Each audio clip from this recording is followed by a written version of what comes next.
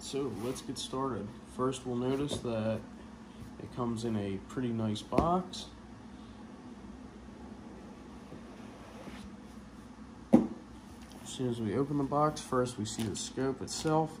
Um, here on the end it'll come with your extended sunshade. It's packed very well, in my opinion.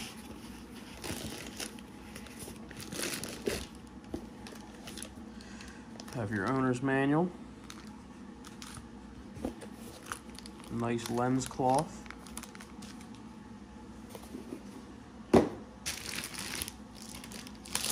The scope will come wrapped in a plastic bag. And it also comes with a bikini style uh, lens cover.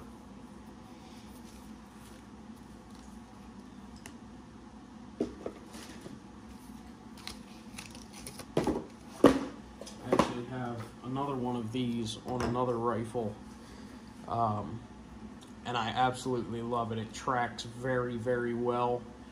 Um, they all have a little bit of mush in the turret.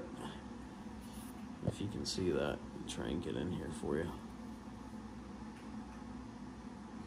See how it's got a little bit of mush there? But it, it just, the clicks are great. So they, they all have a little bit of mush in the turrets. That kind of worried me at first, but um, I've had very good luck with my last two of these, so I went with a third one. This is the 4 to 16 by 44 first focal plane. Uh, this is also in MRAD versus MOA. I prefer the MRAD, that's just me. Um, mils is a lot easier than MOA on the fly, uh, just to be faster. Your adjustment is slightly more coarse compared to MOA. Um, MOA is going to be 0.25 MOA, which would be a quarter inch at 100 yards, versus uh, MRAD being uh, one tenth MRAD per click, which would be 0.33 inch, roughly. So four clicks per inch at 100 yards for MOA, three clicks per inch with mils.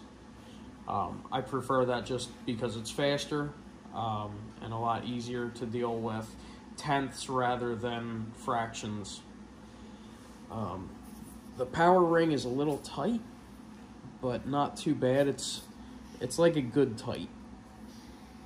Nice and smooth, no grit. Your parallax knob is tight as well, and it goes from 20 yards all the way up to infinity. We'll set it back at 50.